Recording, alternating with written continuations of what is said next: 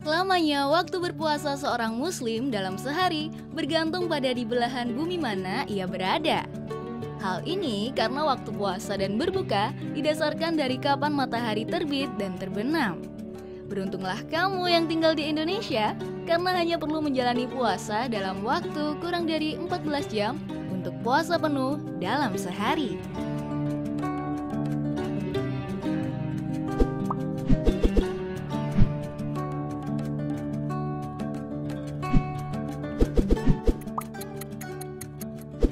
Finlandia Terletak di lingkaran Arktik, Finlandia diselimuti dengan kegelapan total di musim dingin dan selalu terang di musim panas.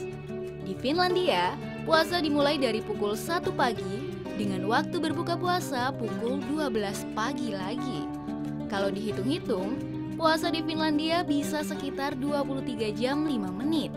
Pasalnya, sepanjang bulan puasa ini, matahari tenggelam di Finlandia hanya selama 55 menit. Kebayang nggak gimana sulitnya ngalamin puasa terlama di dunia ini?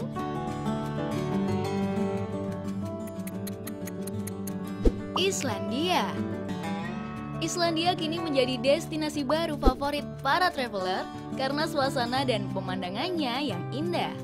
Namun tahukah kamu, ternyata negara ini juga punya waktu puasa loh. Jika umat muslim di Indonesia hanya berpuasa selama 13 jam lamanya, maka umat muslim Islandia harus berpuasa selama 22 jam. Di salah satu negara paling utara di bumi itu, perputaran matahari memang terasa panjang.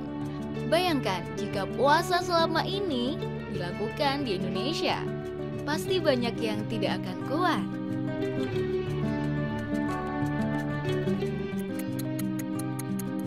Alaska Alaska memang memiliki waktu puasa yang termasuk lama, namun sebaliknya, ia juga merupakan salah satu negara dengan waktu puasa tercepat.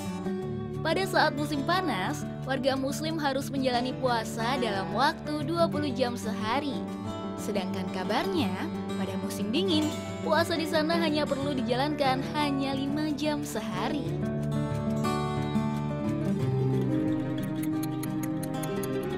Swedia Warga muslim di Swedia juga memiliki tantangan yang sama dalam menjalani waktu puasa selama satu hari penuh.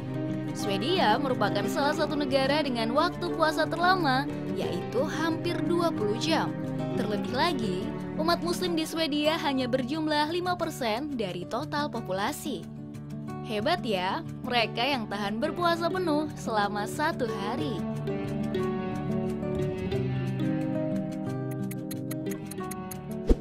Rusia.